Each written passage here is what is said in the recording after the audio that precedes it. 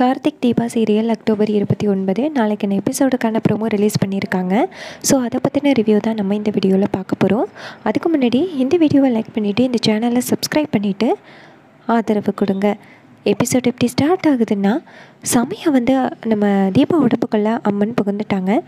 ஆஹ் ஆட்டம் போடுறாங்க நம்ம தீபா. என்ன நடக்குதுன்னா பூசாரியோட கழுத்தை பிடிச்சி கீழே தள்ளி விடுறாங்க. பூசாரி செம்மையாக பயந்து போய் கீழே விழுகிறாரு. அதுக்கப்புறமா அந்த சோலாயுதத்தை பூசாரியோட கழுத்து மேலே வைக்கிறாங்க. இதனால பூசாரி பயந்து போய் அம்மா என்னை மன்னிச்சிருமா? அப்படின்னு சொல்கிறாங்க அப்போ அம்மன் சொல்கிறாங்க எழுந்திரிடா அப்படின்னு. அப்போ பூசாரி எந்திரிச்சு நின்று அம்மா என்னை மன்னிச்சிருங்க.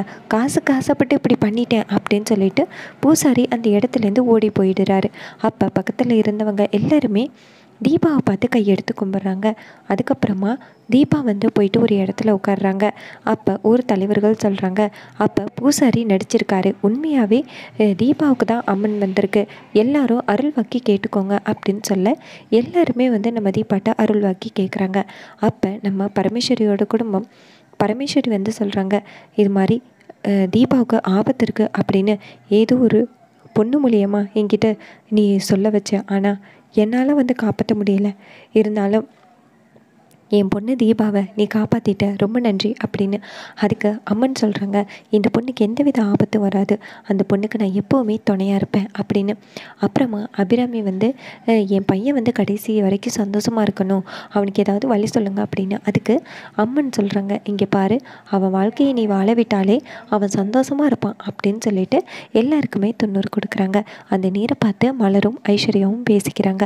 மலர் சொல்கிறாங்க என்னக்கா இது? நம்ம எப்படிப்பட்ட ஒரு திட்டம் போட்டோம் அப்படி ஆயிடுச்சு அப்படின்னு அதுக்கு ஐஸ்வர்யா சொல்கிறாங்க எனக்கு என்னமோ இந்த தீபா நடிக்கிற மாதிரி தான் தெரியுது. இன்னும் கொஞ்ச நேரத்தில் பாரு அப்படின்னு சொல்லிட்டு நேராக தீபா இருக்காங்கல்ல அவங்க பக்கத்தில் வந்துட்டு ஒரு விளக்கு இருக்குது அதை எடுத்து தீபாவோட விள முந்தானை எரியிற மாதிரி வைக்கிறாங்க. இது வந்து யாருக்குமே தெரியல. ஒரு பக்கம் தீபாவோட முந்தானை எரிஞ்சிக்கிட்டு வருது. இன்னொரு பக்கம் நம்ம தீபா எல்லாருக்கும் வந்து துண்ணூறு கொடுத்துக்கிட்டு வராங்க. ஒரு பக்கம் தீபாவோட முந்தானை எரிஞ்சிக்கிட்டு வருது. இதை பார்க்காம நம்ம தீபா இருக்காங்க. இன்னொரு பக்கம் ஐஸ்வர்யாவும் மலரும் ரொம்ப சந்தோஷப்படுறாங்க. எப்படியாவது தீபாவை தீட்டு கட்டியாரணும் அப்படின்னு.